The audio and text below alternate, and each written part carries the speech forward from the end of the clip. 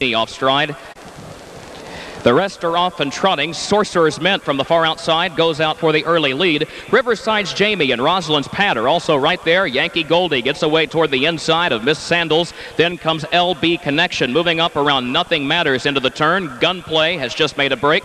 Mayfair Lady gets away trotting 12 lengths off the lead. Gap of three. Back to Harmony Oaks Zippy. Then it is nearly eight more lengths to Cooper's Queenie followed by High Lass and Gunplay is 12th and last with 25 to 30 lengths to make up on the leader off the opening quarter in 29 and 2 fifth seconds.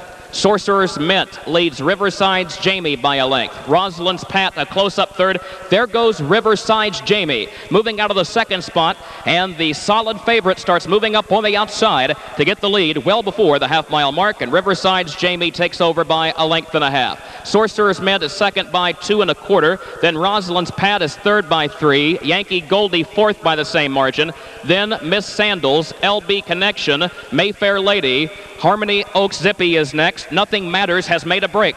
The half was reached in a minute three fifths. Cooper's Queenie and Gunplay move up a couple of spots. Then High Lass and Nothing Matters now the trailer after breaking stride. Moving into the last turn, Riverside's Jamie is on the lead by a length and a half to Sorcerer's Mint, who's second. Here comes Rosalind's Pat moving to the outside from third, but still two lengths off the lead. A gap of two to Yankee Goldie, who's trotting fourth by three lengths at the three quarter. Then Miss Sandals in 133 and 1. Riverside's Jamie, the favorite, leads them off the far turn, a length and a half. Then Sorcerer's Mint fighting back for second. Rosalind's Pat third. Yankee Goldie making a three wide move from fourth. She's still a good three lengths off the lead. Riverside's Jamie hasn't been asked for much here. Craig Banks says this riding in the bike, but Yankee Goldie makes a move better. Now Banks shows the whip to Riverside's Jamie. Now she gets another crack of the whip, and she's trotting on with Yankee Goldie coming. Here's.